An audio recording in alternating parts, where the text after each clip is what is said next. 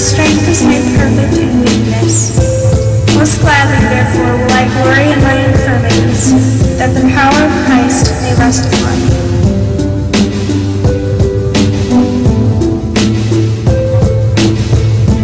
Welcome to Hope in the Night with Miss Patricia.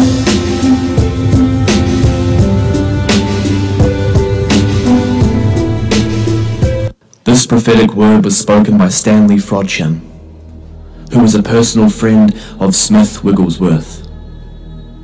It was given in Chicago in 1965, five years before he died.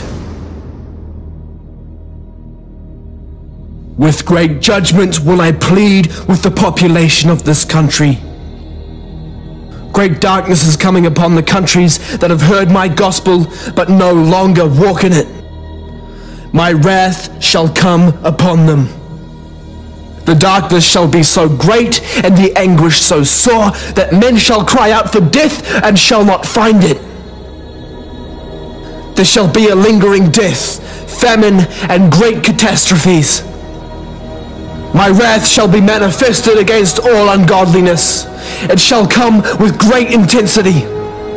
You have known my love, but have not experienced my wrath or severity. My judgments are literal and not a thing to be passed over lightly. Realize the severity of my judgments and my intense anger against the sin in my household. My judgments shall begin in my house. For I will cleanse my house, that it be not a partaker of my wrath against the iniquities of the cities. Before I visit the nations in judgments, I will begin at my house. When I do cause my wrath to come upon the cities of the world, my people shall be separate. I desire a people without spot or wrinkle, and such will be preserved by me in the time of my wrath which will be coming upon all iniquity and unrighteousness. I am going to prepare you for the coming days by a hard path that will cause many to cry out continually unto me. For when the going is easy, men do not seek me, but rejoice in temporary blessing. And when that blessing is removed, they so often turn this way and that way, but do not come to me. I am showing you these things in order that you may seek me continually and with great diligence. As you seek me, I will open up truths to you that you have never seen before. And these very truths will be such that will enable you to stand in these last days. As you are persecuted, reviled, and rejected by your brethren, then you will turn to me with all that you are, with all of your heart, and you will seek me for the spiritual life that you need. For when the tribulation comes, you will have that which will enable you to stand for many will be tossed to and fro. Men's hearts shall fail them because of trouble on every hand. These days shall be very terrible, the likes of which have never been seen before. When I visit my people in mighty revival power, it is to prepare them for the darkness ahead. With the glory shall come great darkness. For the glory is to prepare my people for the darkness. I will enable my people to go through the darkness because of the visitation of my spirit. Take heed to yourselves lest you be puffed up and think you have arrived. Many shall be puffed up as in the olden days. For then many received my message but did not continue in it. Did I anoint Jehu? Yet the things that I desired were not accomplished in his life. Listen to the messengers, but do not hold men's persons in admiration or adulation. For many whom I shall anoint mightily with signs and miracles shall become lifted up and shall fall by the wayside. I do not this willingly, for I have made provision that they might stand. I call many into this ministry and equip them, but remember that many shall fall. They shall be like bright lights, and the people shall delight in them. But they shall be taken over by deceiving spirits, and shall lead many of my people astray. Hearken diligently concerning these days. For in the last days shall come seducing spirits. They shall turn many of my anointed ones away. Many shall fall through diverse lusts, and because of sin abounding.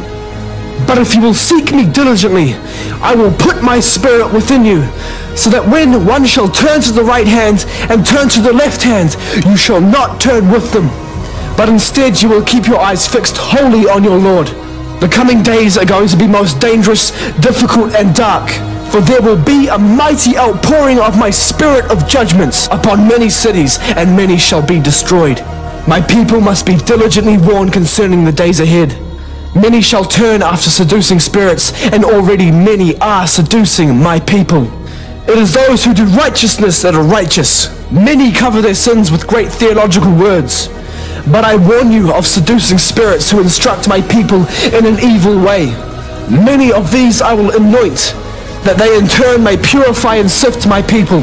For I will have a holy people. When I come, I shall not find faith upon the earth, but in a few.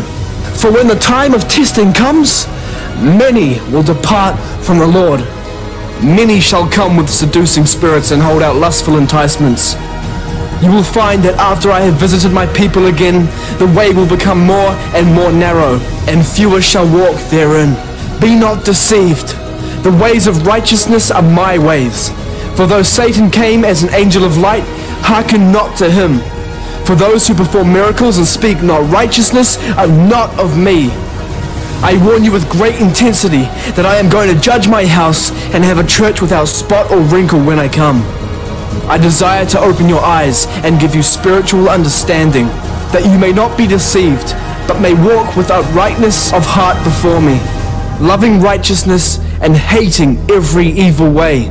Look unto me, and I will make you perceive with the eyes of the Spirit the things that lurk in the darkness, that are not visible to the human eye. Let me lead you in this way, that you may perceive the powers of darkness and battle against them. It is not a battle against flesh and blood, for if you battle in that way, you accomplish nothing. But if you let me take over the battle against the powers of darkness, then they are defeated, and then liberation is brought to my people. I warn you to search the scriptures diligently concerning these days, these last days. For the things that are written shall indeed be made manifest. There shall come deceivers among my people in increasing numbers, who shall speak forth the truth, and shall gain the favor of the people. For the people shall examine the scriptures and say, What these men say is true. Then when they have gained the hearts of the people, then and only then shall they bring out their wrong doctrines. Therefore I say that you should not give your hearts to men, nor hold people's persons in admiration or adulation. For by these very persons Satan shall gain entry into my people. Watch for seducers. Do you think a seducer will brandish a heresy and flaunt it before the people? He will speak words of righteousness and truth, and will appear as a minister of light, declaring the word. The people's hearts shall be won. Then when the hearts are won, they will bring out their doctrines, and the people shall be deceived. The people shall say, Did he not speak this and speak that? And did we not examine it from the word? Therefore he is a minister of righteousness. This that he has spoken we do not see in the word, but it must be right. For the other things he spoke were true. Be not deceived. For the deceiver will work to gain the hearts of many, and then shall bring forth his insidious doctrines. You cannot discern those who are of me and not of me when they start to preach. But seek me constantly, and when these doctrines are brought out, you should have a witness in your heart that these things are not of me. Fear not, for I have warned you.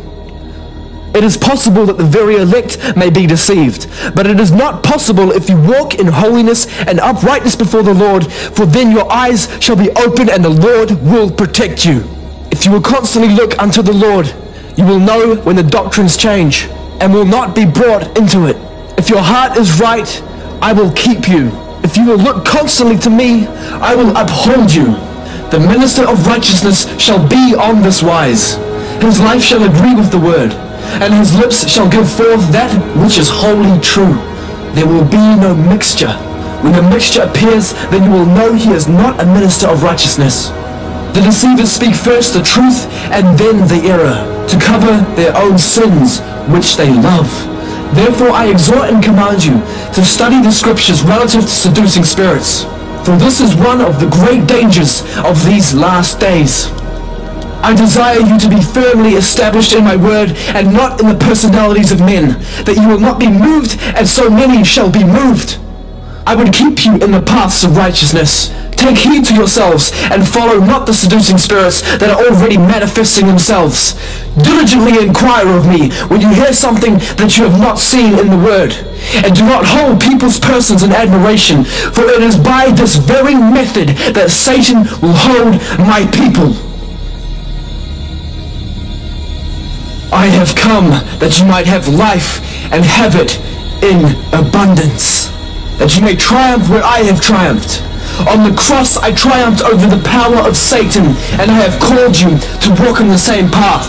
It is when your life is on that cross that you shall know the victory that I have experienced. As you are on the cross, seated in me, then you shall know the power of the resurrection when I come in my glory, the principalities and power in heavenly places shall be utterly broken. Fear not, for I have given you the power whereby you may tread down the powers of darkness and come forth victorious through every trial.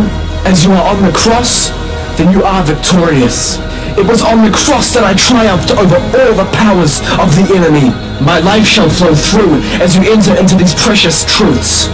Look unto me and appropriate my life. As your eyes and desires are toward me, and you know what it is to be crucified with me, then you shall live and your anointing shall increase.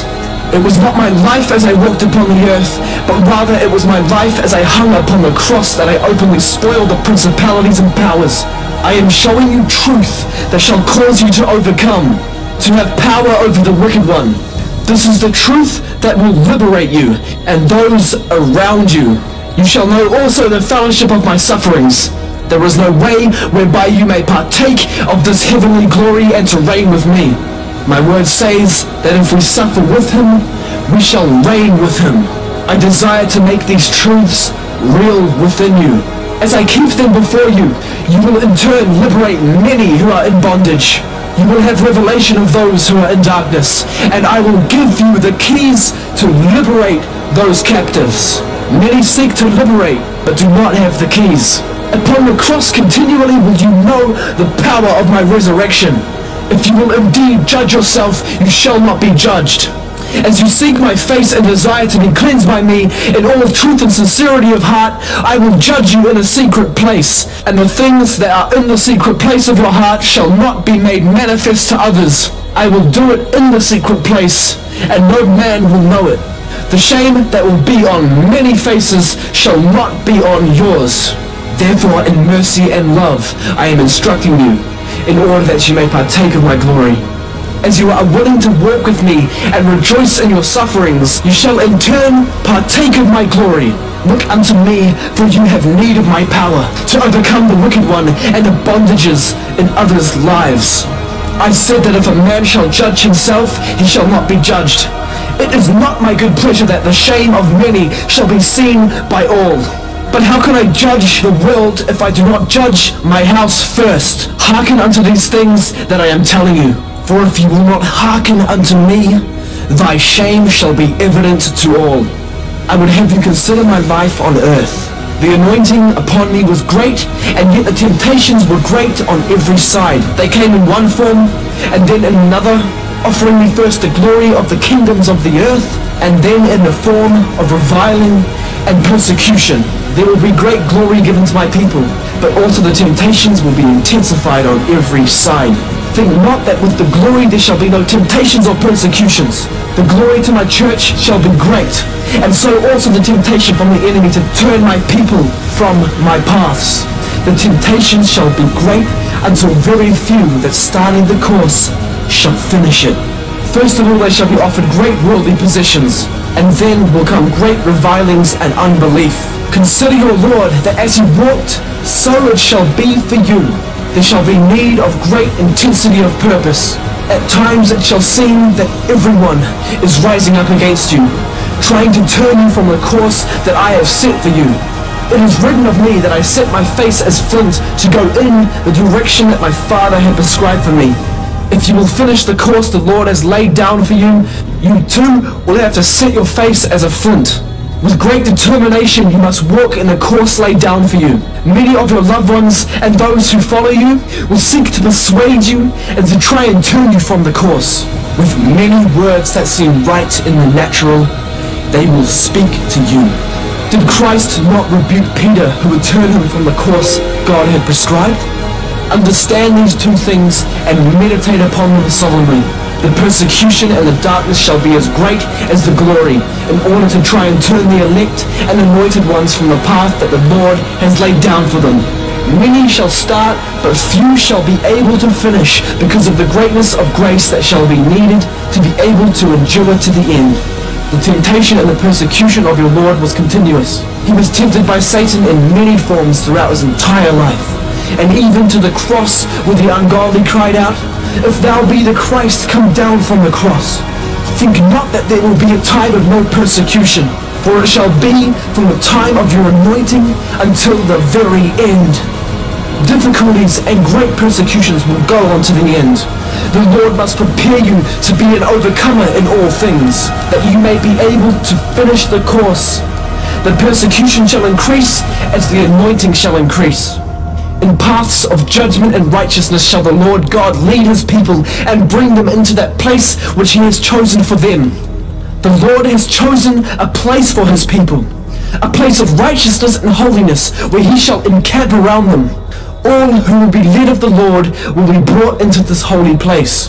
For the Lord delights to dwell in his people and to manifest himself through his people. The holiness of the Lord will be manifested through his people. Let the Lord lead you, and he will lead you in the difficult places. He led his people of old through places where no man dwell, where no man passed through, in a place of great danger and in the shadow of death. The Lord will indeed lead his people again through such places, and at the same time will bring them out and into a place of great glory. Understand that the way toward the glory is fraught with danger, and many shall fall to the right, and many shall fall to the left. Many shall camp on lesser ground. But the Lord has a place of holiness, and no unclean thing shall dwell among his people. Put your trust in him and he will bring you into a place of holiness. He desires to bring his people into a great glory, the likes of which have never been seen. For this is what the Lord will do for those who put their trust in him. It is a place of darkness and great danger, and it will separate his people into the place where he would have them walk. He will protect them from the voices that will turn them from their path. He will bring them through the dark places and lead them into the light of his glory. He will rejoice greatly over his beloved and cause them to be filled with joy unspeakable. He seeks to lead his people into a new place of grace and glory where he will indeed encamp among them. Put your trust in him and he will surely bring you into this new place. Fear not the days to come, but fear this only, that you shall walk in a manner pleasing to the Lord in this time I am ordering and setting up my church, and it shall indeed be pure, without spot or wrinkle. I will do a work in my beloved that has not been seen since the foundation of the world. I have shown you these things that you may seek the Lord diligently, with all of your heart, and that you may be a preserver of his people. Run not to this one or to that one, for the Lord has so ordained that salvation is in him and him alone. You shall not turn to this shepherd or to that one, for there shall be a great scattering upon the earth. Therefore look unto him, for he will make these things clear to you. You shall not look here or there, for his well shall increase your strength and your faith as he prepares you for the times that are coming. The truths that I have revealed to you must become a part of you. Not just an experience, but a part of your very nature. Is it not written that I demand truth in the inward parts? It is the truth of the Lord expressed in your very being that shall hold you. Many shall experience the truth, but the truth must become a part of you, your very life. As men and women look upon you, they will not only hear the voice, but see the experience of the truth. Many shall be overcome, because they are not consistent in my ways, and because they have not permitted the truths to become a part of them. I am showing you these things, that you may be prepared, and having done all, to stand.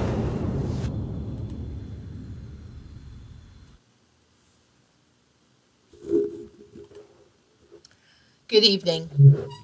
This is Miss Patricia, you're listening to Hope in the Night. I played Stanley Frodsham.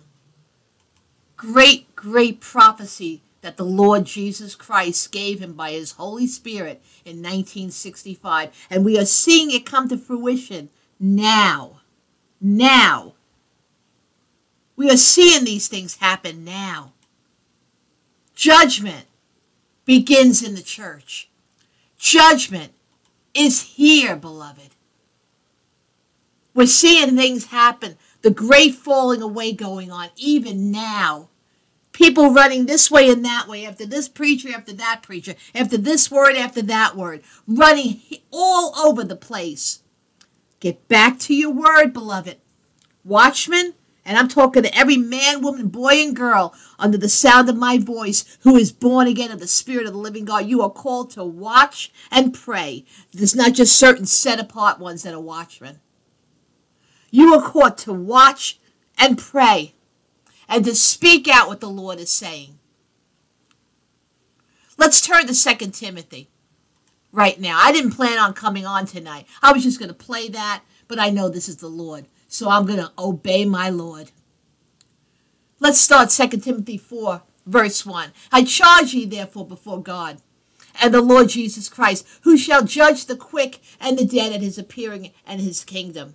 And Paul goes on to say, Preach the word, be in season, out of season, reprove, rebuke, exhort with all long suffering and doctrine. Why?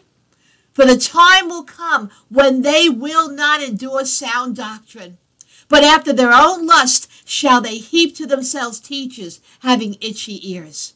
And they shall turn away their ears from the truth and shall be turned unto fables. This is happening, beloved, right now.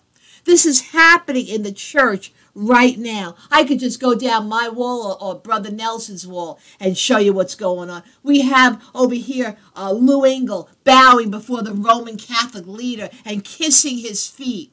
It's recorded on nowtheendbegins.com. What is he doing bowing before another man? We had the apostle, we had John. He the Lord took him up into the heavenlies and he bowed when he saw an angel and the angel told him, Don't bow down to me. That's for the Lord. And we have a man bowing and kissing the feet of a Roman Catholic leader. Ecumenism. Ecumenism is happening. It started with Kenneth Copeland and it's trickling way down. They say that if you call yourself a Catholic, that you are a Christian. No, that's not what the Word of God says. The Reformation has not ended. The Reformation is still here. Beloved, I'm telling you, if your pastor or teacher or preacher, whoever you're sitting under, if they are not preaching what's in the Word of God, I just saw somebody post something about uh, potty mouth preachers.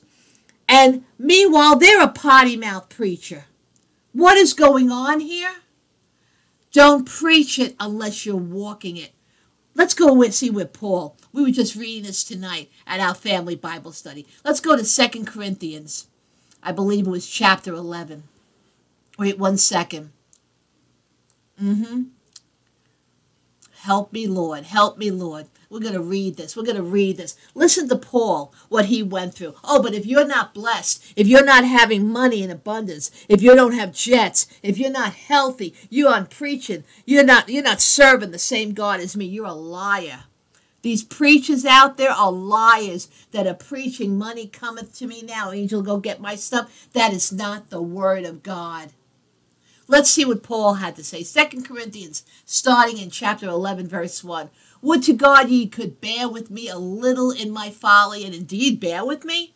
For I am jealous over you. He's speaking to his church. I am jealous over you with godly jealousy. For I have espoused you to one husband, that I may present you as a chaste virgin to Christ. Let's keep on reading. We're going to find out what happens to true men and women of God as they preach the truth, okay? But I fear lest by any means, as the serpent beguiled Eve through his subtlety, so your minds could be corrupted from the simplicity that is in Christ. For if he had for if he that com- cometh preacheth another Jesus, a Jesus that you could take the mark, and you'll be forgiven. Who was that that said that? I can't think of his name right now. It'll come to me though. If you're in the chat room, write it in the chat room. You you, you can you can take the mark of the beast. Uh, what is it? John MacArthur. Thank you. John MacArthur. You can take the mark of the beast and God will forgive you. That's what he preaches. So if for if he that cometh preacheth another Jesus, there's hope in the night. There is hope in the night. That's what this program is. I'm giving you hope to not fall away and, and be tossed away into the lake of fire. Get back on your post, beloved. Stand back up. I don't care what you're going through. Hey, I'm supposed to be disabled. I had a stroke two years ago. I am standing in the Lord Jesus Christ, in Him, for His glory, God. Thank you, Father. All glory to Him.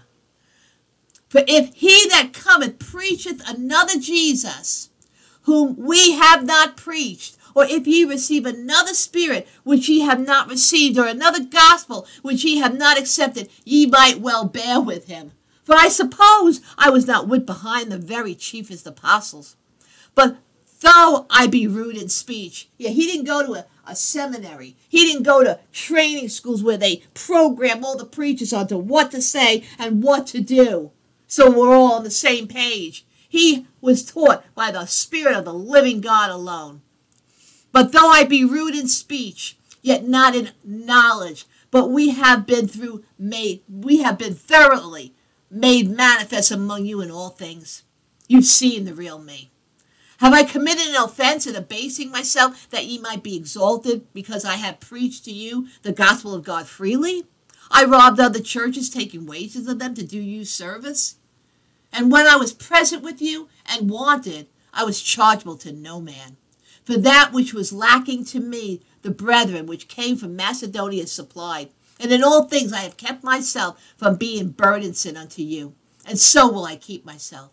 As the truth of Christ is in me, no man shall stop me of this boasting in the regions of Achaia. And I say, no man, no woman, no one will stop Watchmen on the Wall Ministries from preaching the truth. No one will stop us until I breathe my last breath.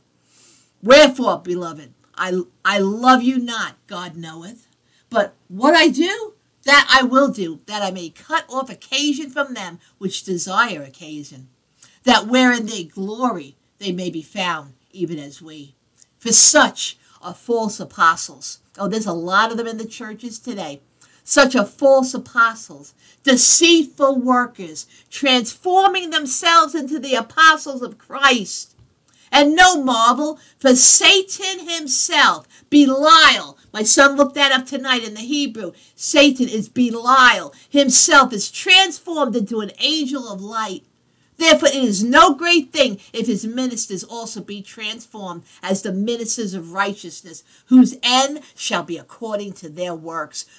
Shall be according to your works you false preachers, you false apostles. Take your jet. It won't get you to heaven. It won't get you to heaven, and blood is on your hands.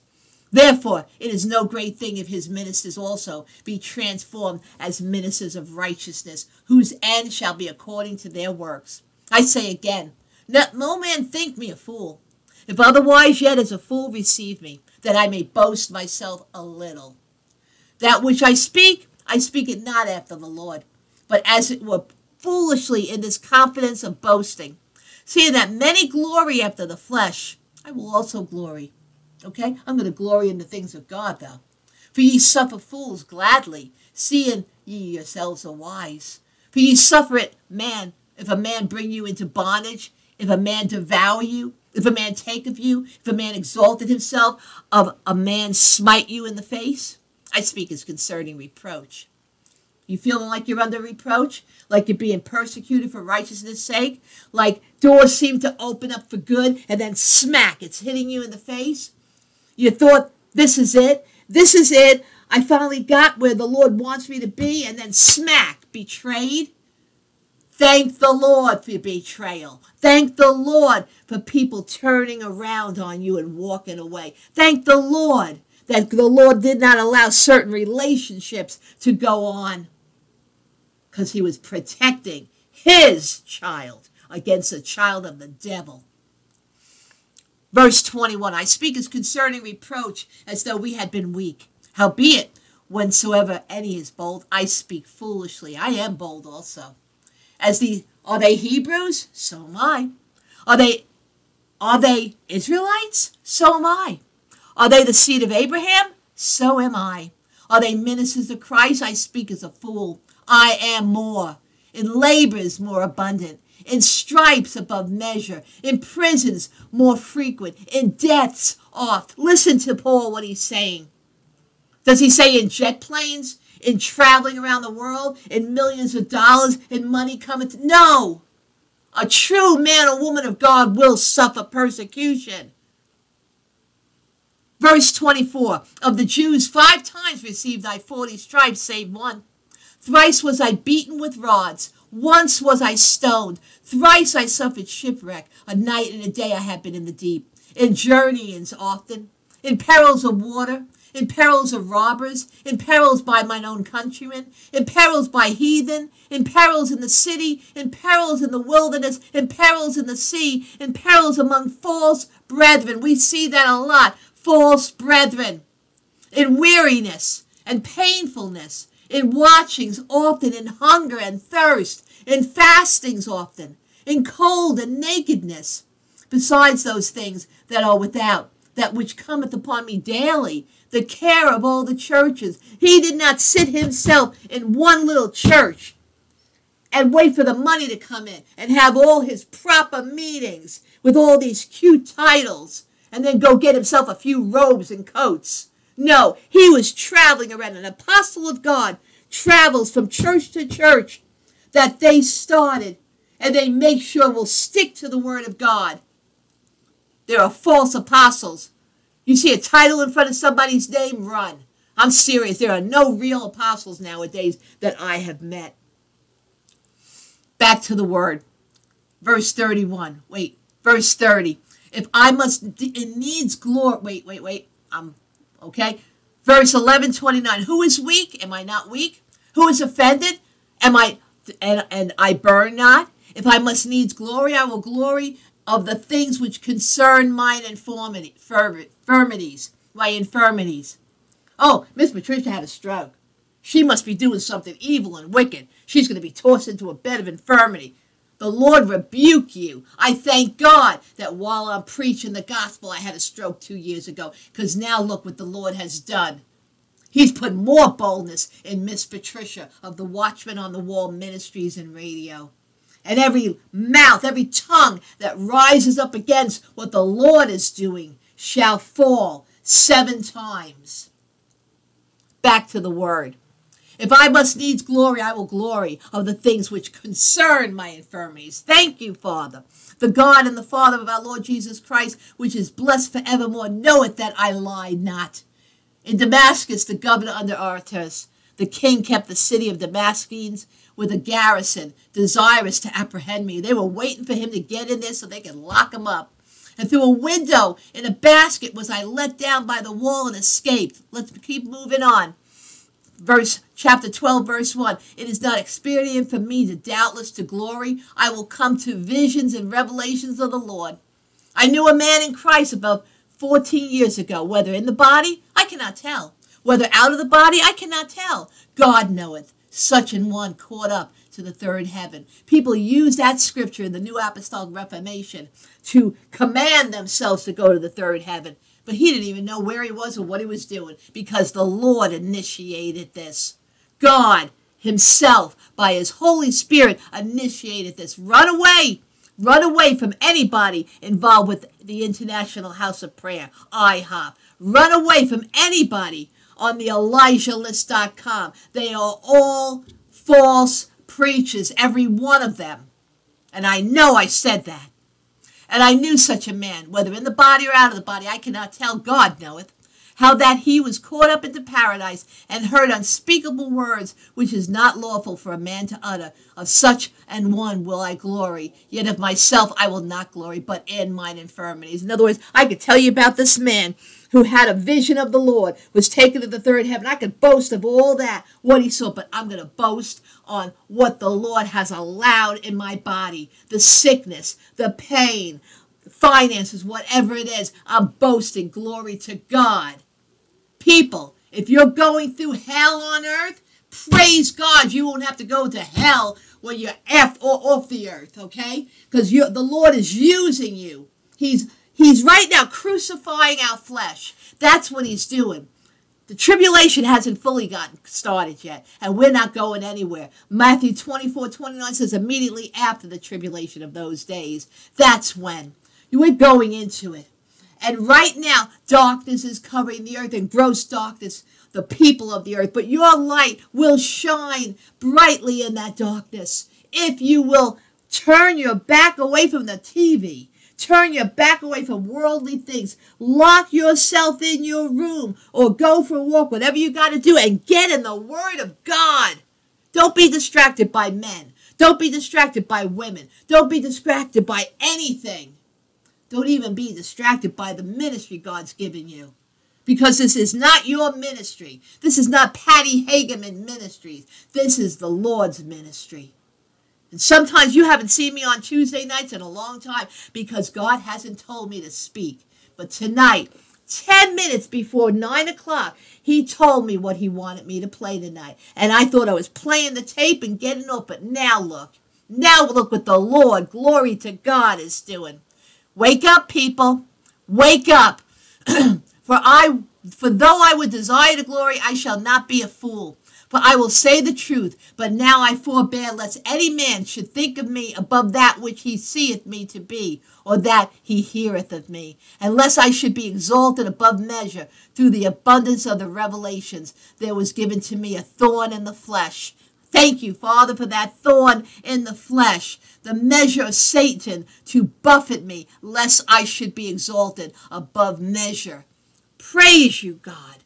Praise you, God. For this thing I besought the Lord thrice. Father, take it away. Father, it hurts so much. Father, please heal me.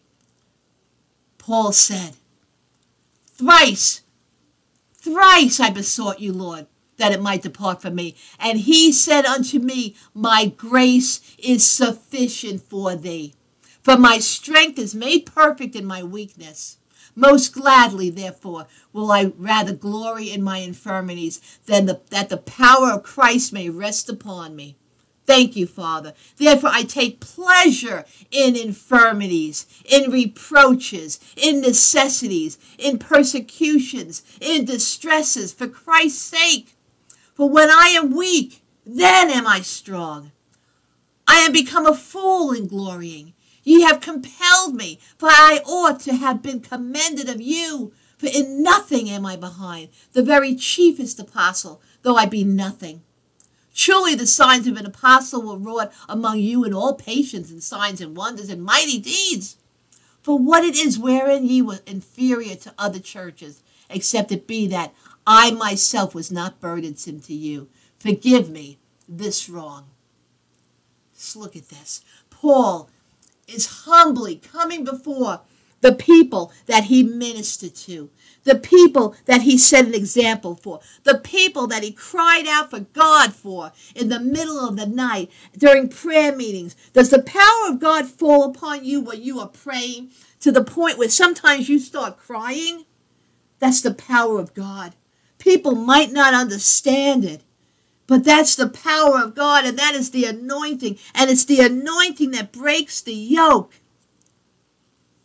Allow the Lord into your life. Let Him use you mightily. Preach the word wherever you are. Read the word to your family. And don't give up praying for those that seem lost because the Lord will break through. And if the Lord doesn't, if their will fights the Lord's will, their blood's off your hands. Oh, that sounds so cold, Miss Patricia. It's Ezekiel 33, 1 through 9. If they will not repent and turn from their wickedness, don't let them into your life. Walk away from them. Walk away from them. You don't have nothing to do with the unfruitful works of darkness. Let it be just you and the Father, because you and the Father is all you need. Father God, I just thank you. I thank you for your word. It is powerful, Father God. Father, you are warning your sheep to run from false teachings, from a false gospel. You are warning your sheep to stand firm on the truth of your word, Father God, and to not be pushed to and fro by every word of the gospel, every different forms of the gospel, different doctrines of the gospel, doctrines of devils, doctrines of Oprah, doctrines of Rick Warren's and Joel Osteen's, false doctrines. Love this, love, love, love Yes, God is a God of love, but the goodness and the fear of the Lord is what we need. Knowing the fear of the Lord, I provoke you tonight. I provoke you to repent and turn to Him and get back at the helm where the Lord has put you. Get back to where the Lord has told you to be. Get back to what the Lord has called you to. He has called you for such a time as this. Stop wasting the time He gives you. Every day He wakes you up. Stop wasting your time and start letting Him use you. I wasn't going to play this, but I'm going to play this last clip and then I'll just get off. Listen to a. You think I've got a big mouth? You think I scream and I and I yell and I keep saying repent, repent, repent? So did Jeremiah. I heard had some people say to me, "Oh, listen, the, the prophet of doom. Look, look at look at you." No. The Lord has called us all to stand with our two feet planted on His word and not to budge. There's a call to anguish. Will you heed that call? Will you? Will you heed that call? Or will you keep on doing what you want to do? Thank you, Father. Just give me a time. Give me one moment.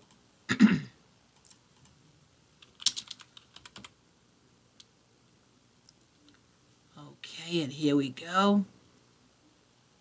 I found it. Drag it onto my open file location and drag it onto my desktop. I didn't plan on playing this, but I'm going to play it. If this doesn't move you, you're dead. if this doesn't move you, I don't know what will. Let me add this. And here we go. The Lord bless you. May his face shine upon you. May him raise you up and speak to you and teach you to be his mighty warrior. And I look at the whole religious scene today, and all I see are the inventions and ministries of man and flesh. It's mostly powerless. It has no impact on the world. And I see more of the world coming into the church and impacting the church rather than the church impacting the world. I see the music taking over the house of God. I see entertainment taking over the house of God. An obsession with entertainment in God's house, a hatred of correction and a hatred of reproof. Nobody wants to hear it anymore. Whatever happened to anguish in the house of God?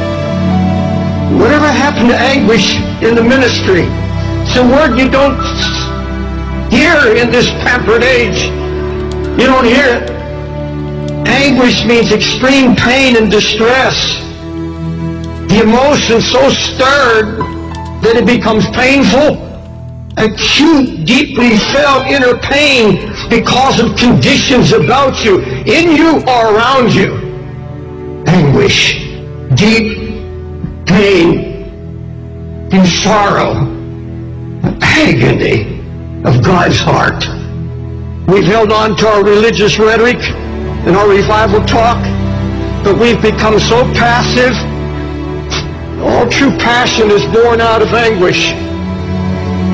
All true passion for Christ comes out of a baptism of anguish. You search the scripture and you'll find that when God determined to recover a ruined situation, he would share his own anguish for what God saw happening to his church and to his people. And he would find a praying man and he would take that man and literally baptize him in anguish. You find it in the book of Nehemiah. Jerusalem is in ruins. How is God going to deal with this? How is God going to restore the ruin? The folks look at me. Nehemiah was not a preacher. He was a career man. This was a praying man. And God found a man who would not just have a flash of emotion, not just some great sudden burst of concern and then let it die. He said, no, I broke down and I wept and I mourned and I fasted. And then I began to pray night and day. Why didn't these other men, why didn't they have an answer? Why didn't God use them in restoration? Why didn't they have a word? Because there was no sign of anguish. No weeping. Not a word of prayer. It's all ruin. Does it matter to you today? Does it matter to you at all God's spiritual Jerusalem, the church, is now married to the world? There's such a coldness sweeping the land? Closer than that, does it matter about the Jerusalem that's in our own hearts? The sign of ruin that's slowly draining spiritual power and passion? Blind to lukewarmness? Blind to the mixture that's creeping in? That's all the devil wants to do is get the fight out of you and kill it. So you won't labor in prayer anymore. You won't weep before God anymore. You can sit and watch television and your family go to hell. Let me ask you, is, what I just said convicted you at all? There's a great difference between anguish and concern. Concern is something that you, that biggest interest you. You take an interest in a project or a cause or a concern or a need. I'm going to tell you something I've learned over all my years, 50 years of preaching. If it is not born in anguish, if it has not been born by the Holy Spirit, where when you saw and heard of the ruin that drove you to your knees, took you down into a baptism of anguish where you began to pray and seek God, I know now. Oh my God, do I know it until I'm in agony, until I have been anguished over it. And all our projects, all our ministries, everything we do, where are the Sunday school teachers that weep over kids they know are not hearing and they're going to hell? You see, a true prayer life begins at the place of anguish. You see, if you, you set your heart to pray, God's going to come and start sharing your heart, His heart with you. Your heart begins to cry out, Oh God, your name is being blasphemed. Holy Spirit's being mocked. The enemy is out trying to destroy the testimony of the Lord's faithfulness and something has to be done. There's going to be no renewal, no revival, no awakening until we're willing to let Him once again break us. Folks, it's getting late and it's getting serious. Please don't tell me, don't tell me you're concerned when you're spending hours in front of internet or television. Come on. Lord, there's some need to get this altar and confess, I am not what I was. I am not where I'm supposed to be. God, I don't have your heart or your burden. I've been, I wanted it easy. Didn't want to be happy. But Lord, true joy comes. True joy comes out of anguish. There's nothing of the flesh will give you joy. I don't care how much money, I don't care what kind of new house there is. Absolutely nothing physical can give you joy. It's only what is accomplished by the Holy Spirit when you obey Him and take on His heart. Build the walls around your family build the walls around your own heart, make you strong and impregnable against the enemy. God, that's what we desire.